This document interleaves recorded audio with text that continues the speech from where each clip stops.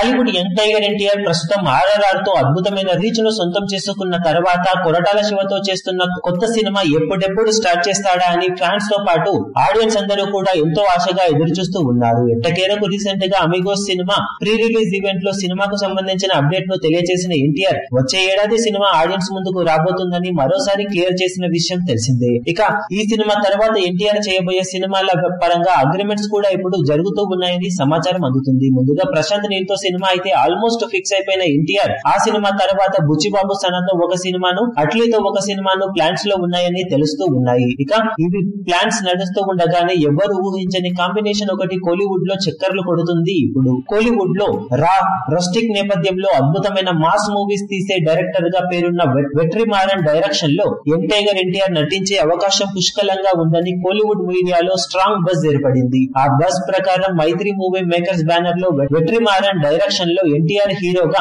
మరో కీలక పాత్రలో తమిళ స్టార్ హీరో ధనుష్ కూడా నటించే అవకాశం ఉందని అంటున్నారు. మైత్రి మూవీ మేకర్స్ బ్యానర్లో ఈ సినిమా చేయడానికి వెట్రి కి ఐదు కోట్ల అడ్వాన్స్ కూడా ఇచ్చారని ఇప్పుడు కోలీవుడ్లో గట్టిగా టాక్ వినిపిస్తూ ఉంది. నారప్ప ఒరిజినల్ వర్షన్ అసురాన్ని డైరెక్ట్ చేసిన Vetri Maran mass and drastic movies తీయడంలో దిట అలాంటి డైరెక్టర్తో వన్ ఆఫ్ ద బెస్ట్ యాక్టర్స్లో ఒకరైన ఎన్టీఆర్ నటిస్తే బాక్సాఫీస్ బద్దలవ్వడం సౌత్ ఇండస్ట్రీ కలెక్షన్ల పరంగా ఊచకొత్త కోయడం ఖాయమని చెప్పవచ్చు. త్వరలోనే ఈ ప్రాజెక్టు పై మరిన్ని ఆసక్తికరమైన విషయాలు తెలిసే అవకాశం ఉందని అంటున్నారు. మరి ఈ వార్త ఎంతవరకు నిజమవుతుందా లేదన్నది అఫీషియల్ అప్డేట్ వస్తేనే తెలుస్తుందని చెప్పవచ్చు.